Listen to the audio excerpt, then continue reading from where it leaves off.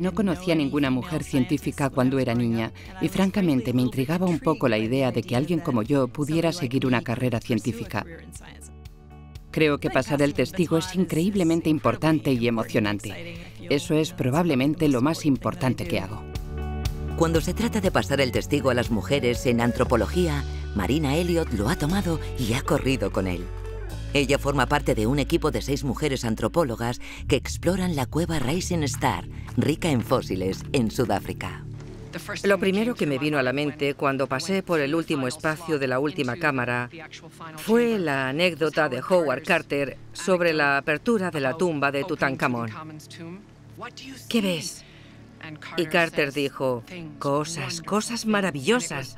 Yo sentí eso. Ellas desenterraron los huesos del Homo naledi y cambiaron nuestra visión de la evolución humana. El Homo naledi es lo que llamamos un homínido primitivo, un pariente lejano, tal vez pariente de los humanos, una especie de primo nuestro.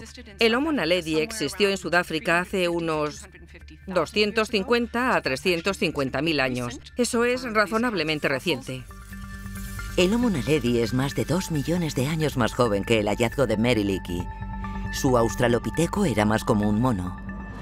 El Homo naledi está más cerca de ser humano. Es un fósil muy interesante e inusual, porque es muy joven y se ve muy, muy diferente a nosotros. En paleontropología es extremadamente raro conseguir tanto material. Preguntad a los Liki, así que sí, es increíble.